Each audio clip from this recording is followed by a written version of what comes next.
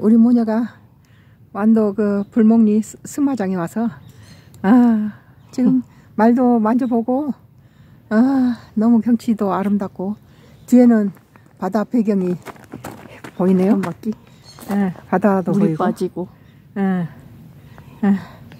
아 멋있네요.